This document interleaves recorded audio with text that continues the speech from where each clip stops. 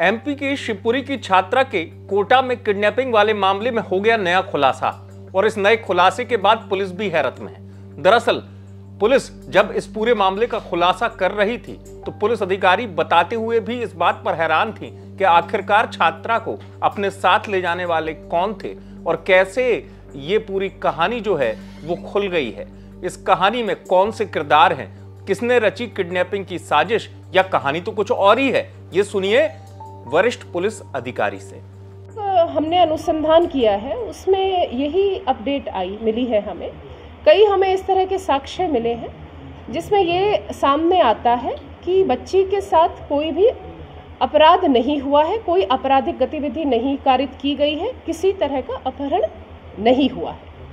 तो जो ये घटना है, ये एक तरह से अभी तक हमारे सामने जितने भी साक्ष्य हैं, उससे झूठी प्रतीत होती है। सीसीटीवी बुलाए जयपुर में जो सीसीटीवी मिला है जो चल रहा है मीडिया पर मैं उसकी पुष्टि नहीं करती हूँ। किंतु ये बात ज़रूर है कि वो जैसे पिछली अगस्त को तीन अगस्त को जो बच्ची है अपनी माँ के साथ यहाँ पर आई थी कोचिंग इंस्टीट्यूट में अपने को इनरोल कराने के लिए। माता जी उसकी वापस शिवपुरी उसी दिन चली गई थी और वहाँ यहीं पर एक जो हॉस्टल है, वहाँ पर वो रुकी थी तीन दिन, तीन, चार, पाँच को।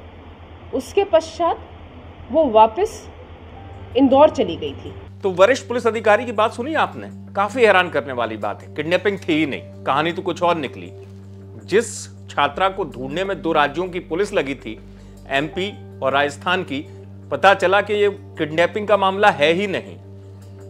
खुद छात्रा और उसके दोस्तों ने मिलकर इसे किडनैपिंग का रंग दिया, ताकि घर वालों पर दबाव बने और पैसे आ जाएँ।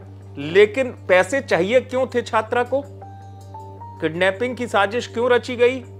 कैसे दोस्तों को साथ में लिया? ये भी सुनिए। जी है, उसके साथ वो दो दोस्त हैं। उनमें से जो एक दोस्त है, वो हमें इंदौर में मिल गए हैं और उन्होंने जो अभी तक घटना बताई है वो यही बताई है कि बच्चे जो है मतलब ये जो बच्ची है और उसके साथ जो मित्र हैं, वो दोनों दूसरी विदेश में जाना चाह रहे थे। उनका यहाँ पर उनको लग रहा था पढ़ाई वो नहीं कर पाएँगे।